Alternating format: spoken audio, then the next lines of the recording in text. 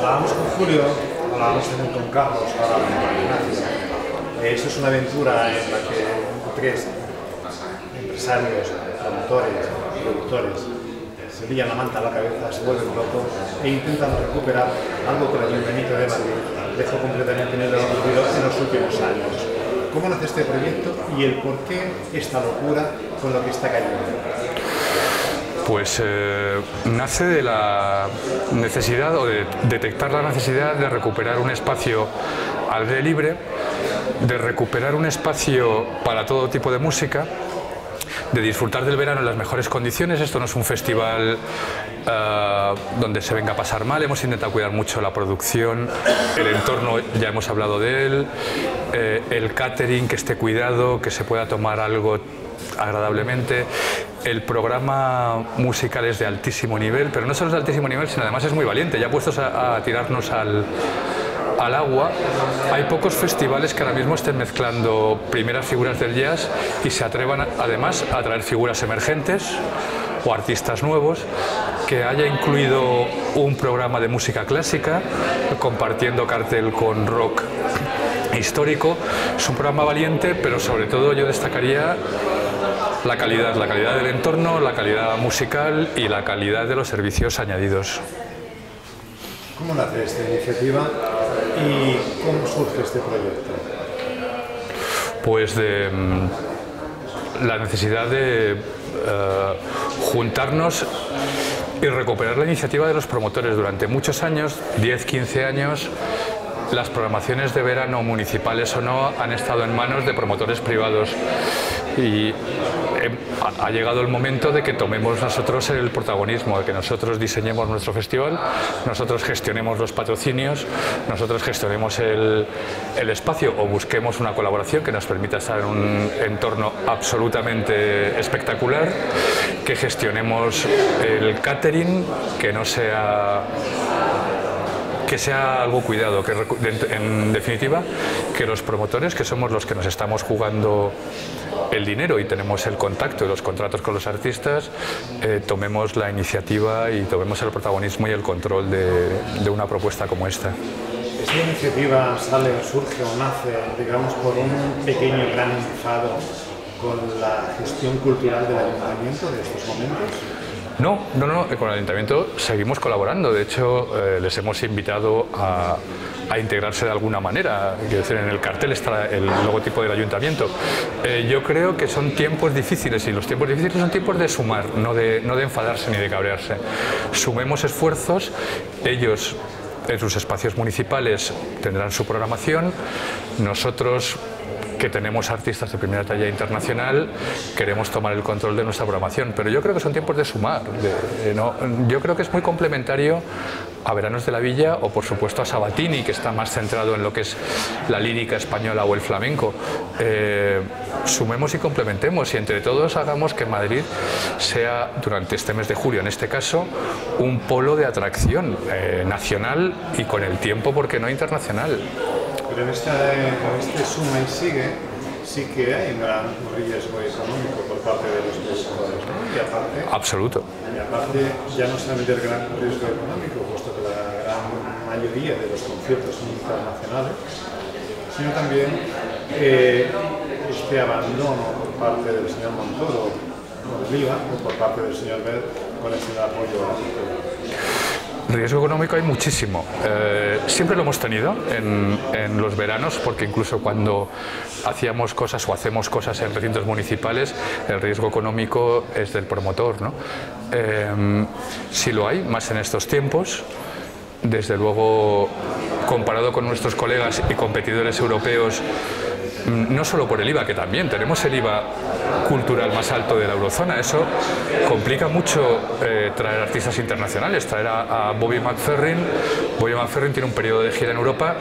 Si las condiciones que se le dan en España son peores, mm, ya te dice encantado, pero prefiero tocar en Lyon o en Frankfurt, porque Alemania tiene el 7% de IVA cultural. Pero no solo es por el IVA cultural, es que eh, lo que se paga de autores en SGAE es también la tasa más alta de la eurozona, es el 10%, comparado con el 7% en Alemania o el 5% en Francia, sumando yo tengo que competir con un alemán con un 31% de tasas y de impuestos sobre el precio de los tickets y el alemán pues está en el 14, es la mitad.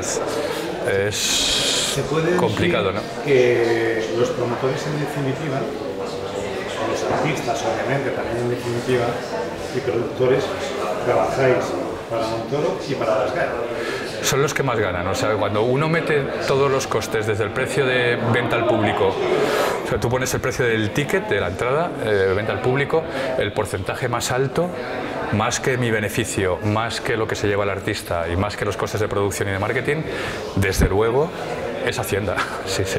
¿Y las GAE en qué os apoya, en qué colabora o en qué participa?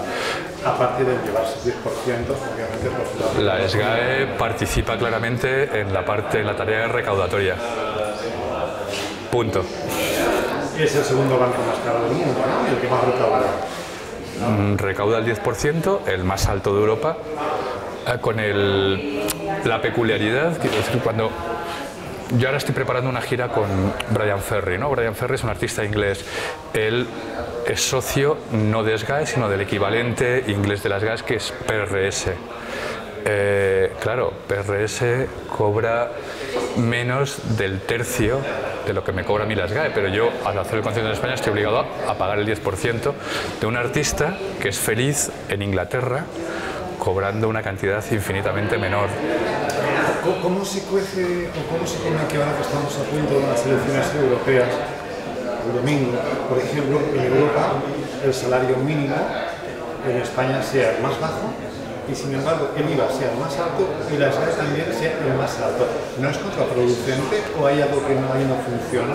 Es obvio que es disfuncional, desde luego. Y en ese sentido, si hay iniciativas. En este caso, por ejemplo, nuestros políticos. Eso es yo. Desde luego no soy político y no, soy un especialista, pero desde luego eh, algo no funciona. Entre otras cosas, según los datos de nuestra asociación profesional, la, APM, la subida del IVA ha supuesto un descenso en la recaudación de, lo que es artes escénicas en general. Eh, no solo ha supuesto un descenso en la recaudación, subiendo la tasa, sino que ha destruido mucho empleo y mucho negocio. En mi caso, yo he tenido que despedir a cinco personas, cinco personas que antes cotizaban a la seguridad social, tenían una retención de IRPF y que ahora están en el paro. Mm, es un coste social. ¿no? Desde luego yo creo que no ha funcionado. Otra cosa sean las motivaciones políticas que haya o el, coste de oportunidad que tenga el partido en el gobierno, que se, lo desconozco y tendrán que ser ellos los que lo expliquen, qué beneficios ha tenido para el país y para la, hacienda pública. Tenemos un giro de 180 grados a la entrevista y hablemos de, de Madrid, del público, al aire libre, el cielo se va a llenar de estrellas, vais a recuperar algo eh, que los madrileños prácticamente aclamaban ¿no? y gritaban al cielo. Eh, ¿Cómo creéis que os lo van a agradecer?